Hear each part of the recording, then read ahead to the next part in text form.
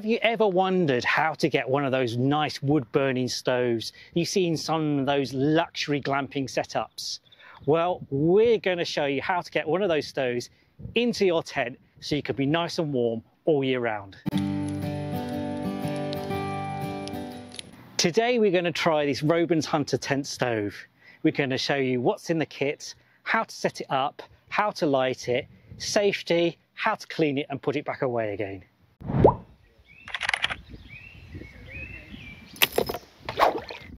Now you can't just buy a tent stove and put it in your tent. You obviously need the flue, but there's other safety items you need as well, like a spark arrestor to stop any sparks coming out and putting holes in your tent. You also need a heat shield too, because you don't want any of your tent fabric touching the very hot flue. That's one of the reasons why I like the Robens stove kits because they come with everything you need in the kit.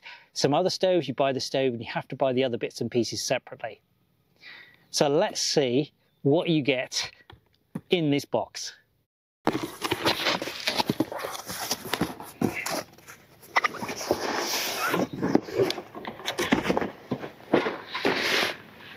Okay, so the first thing to mention is that as you can see, it comes complete in this case.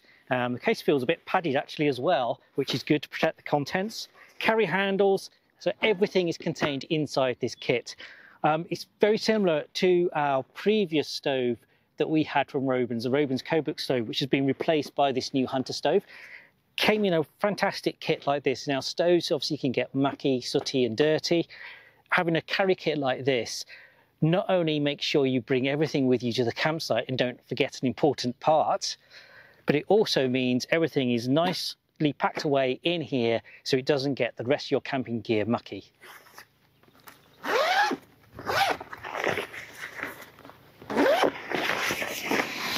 Okay, so some more packing material in here from the factory. At the top here, we've got the spark, uh, we've got the heat shield actually.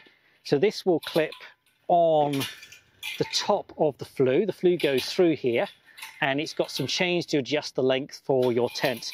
And the idea is here is that this bit goes on the flue at the point where the tent fabric comes round um, the flue pipe. And this gap here just provides that little bit of cooling and separation uh, from the hot flue pipe.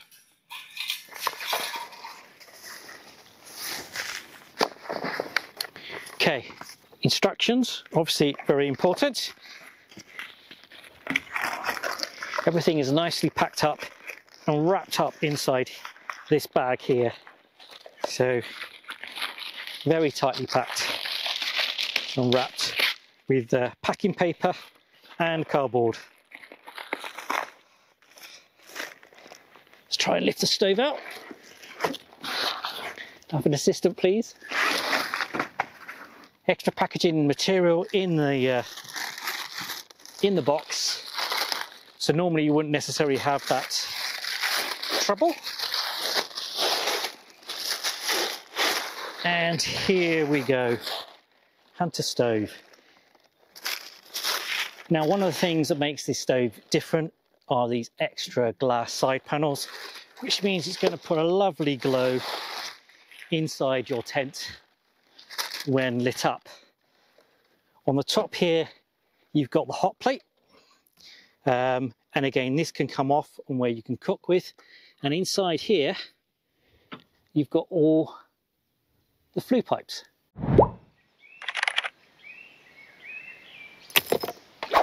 So first time here, it's obviously got a lot of packing material in here. So it's all nice and snug from its journey from the factory, which might be in China or somewhere else in the Far East. Let me uh, get out, there we go. So previous stoves, the um, Robens Kobuk stove, these were all black and now with this one, they're nice and shiny.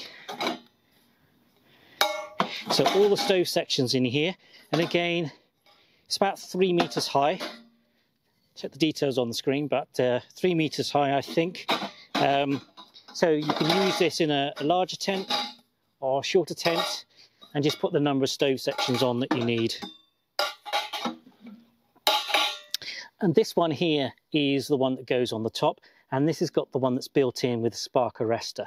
So these little holes stop any large sparks coming out of here. It's also sealed on the top here, so you're not going to get rain coming down the flue. A previous one, it was open, so you sometimes get a little bit of rain coming down hitting the fire. Um, but this one is a little bit more protected. And of course, nice and shiny too. Now the other things inside the tent here, these I think are the drying racks that go on the side. So let's open this up. Yep, so these are the drying racks and these will just slot on the side. Drying racks are, are useful, useful shelves putting things on. In the bottom here, I think we should find the ashtray, the ash pan.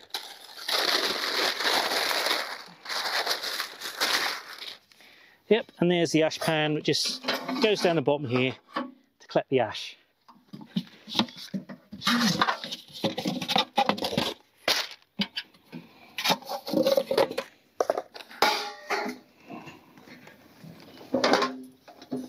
Now on the underside of this, we've got the legs, these little locking pins in place here. Get these out one, two. So again, this is another design improvement over the previous stove. Legs a little bit more sturdy than the previous version of the stove, and they lock in place like that. So there we go. So here we got the stove here, nice big vent on the front to let the air flow in nice lovely glass windows around the side.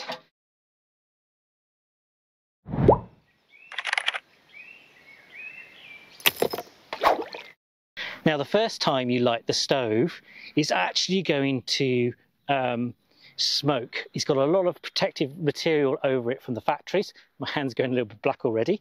So what Robens recommend is you actually light this stove and let it go for four to five, uh, four to 11 hours, I think they're recommended, to burn off all the smoke, and basically until all the smoke's been put off. So we're going to light this outside, do the first test firing of this stove um, outside before we put it in the tent. Make sure the vent is open and don't just cram a load of wood in there and set it alight. Um, the best way is to start the stove up gradually. Once we start getting some heat in here, the uh, hot air is going to go up the flue draw fresh cold air in. So it's going to continually go that way through and not smoke elsewhere. Now, we find these little firelighters like this um, ideal. Really easy to do. You get them in home bargains. They're quite cheap, um, but they work a treat. These little wax covered bit of tinder really. Um, I would start that and then start with these small bits of kindling. Make sure you're using dry wood, seasoned preferably. And uh, it's a bit blowy today. Let's see if we can light this.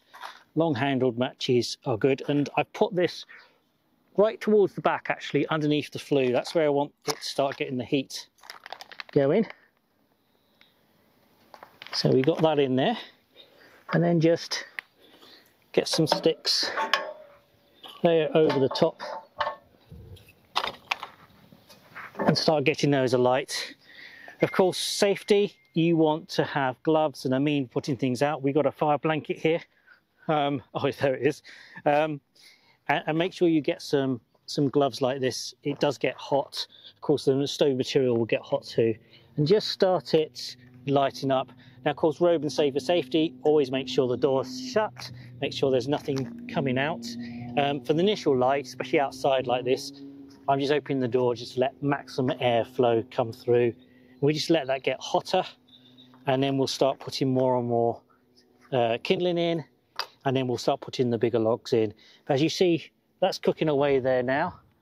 There might be some smoke coming out the top of the flue, but there's none, none of the smoke coming out the front, which is what you want.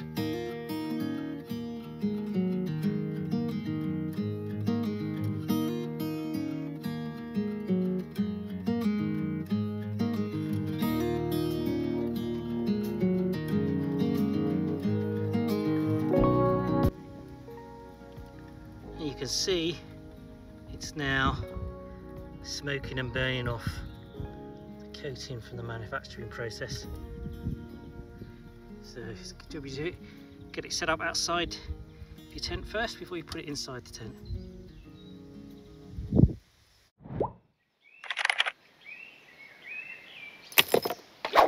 Had the stove burning outside all day. I think all the uh, smoke fumes have burnt off.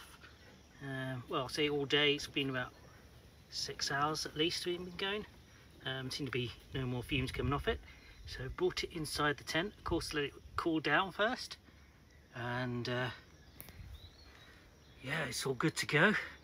Connected up through the stove flue port in the in the tent. As you can see the heat shield is on there. There's little markings on the heat shield to make sure that the fabric's well clear on the inside here and out.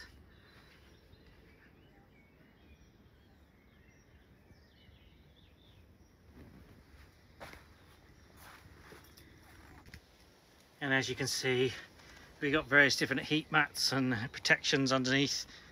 Um, rather than taking up the rolling, rolling back the floor. Safety is a big concern. Obviously, make sure you've got means putting out uh, fires. A fire blanket is, I think, essential um, for various different forms of protection in here. Uh, again, you know, safety is very important.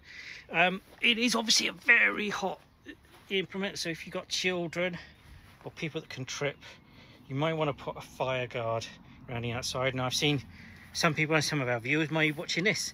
I know you've posted videos uh, and pictures of where you've got a stove set up in your tent with little kids and you put a fire guard around. Of course, the really important thing is make sure you've got plenty of ventilation, which this tent does have, um, all the way up to the roof.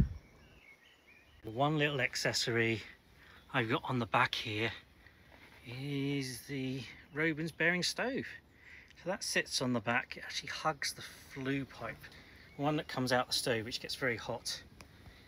And that basically gives piping hot water. So yep, hot water in the tent as well.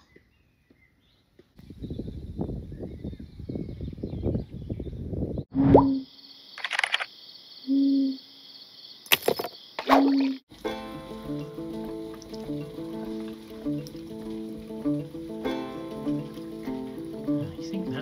a brew.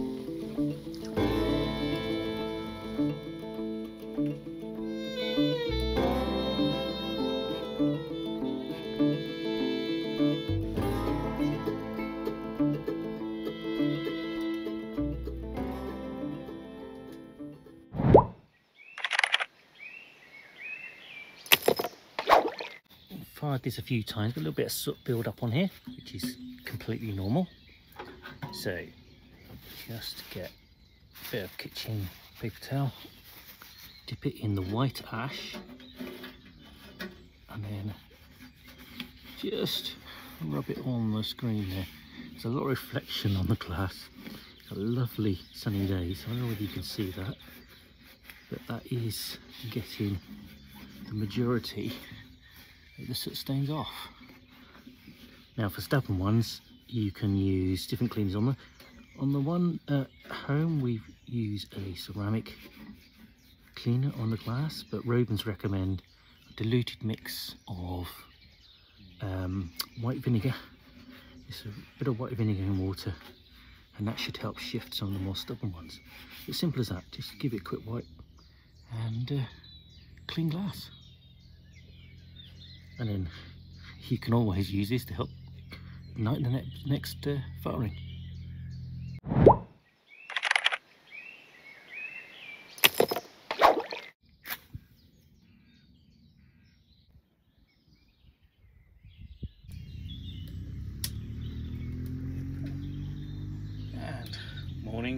Coffee brewing away lovely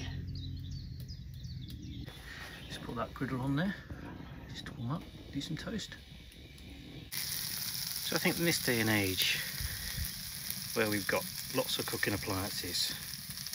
You know, things like this wood burning stoves usually used for heating and it certainly does a good job at that. But don't forget, it's also a place where you can cook.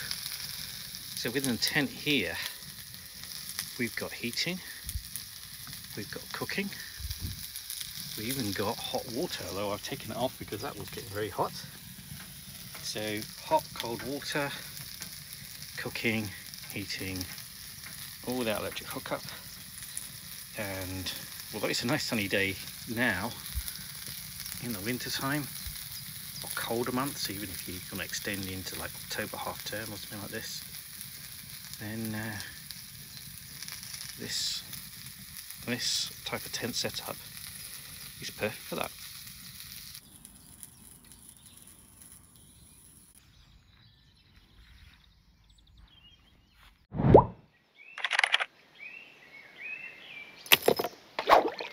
So mentioned already about the uh, cleaning the glass on the stove.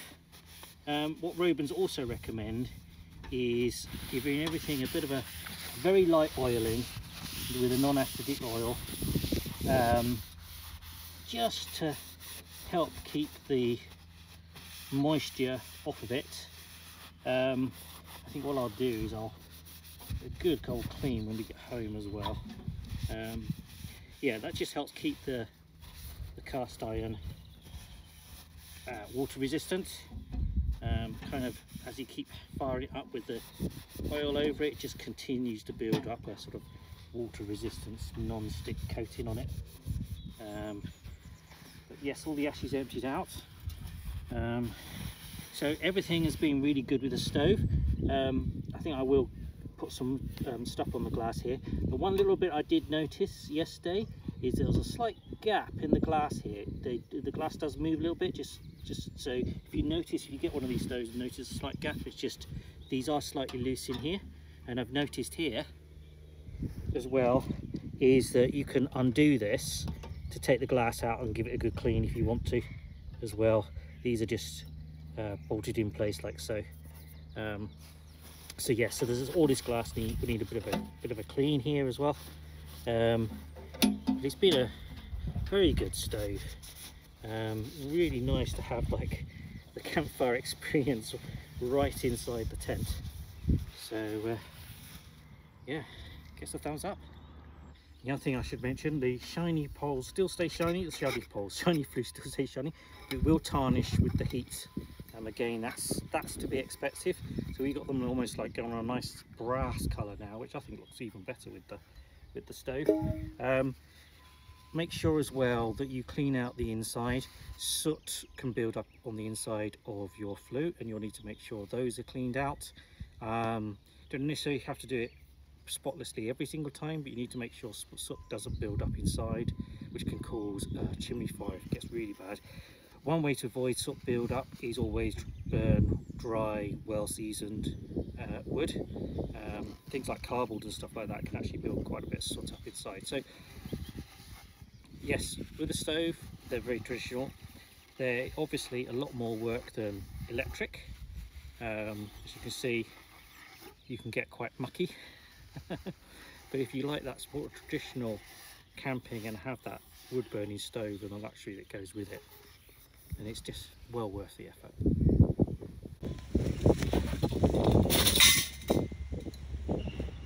to get a stove like this into your tent you need a tent that's got a, a flue port and can accommodate it such as this Robin Settler Field. Now if you want to see more details about this tent click the video there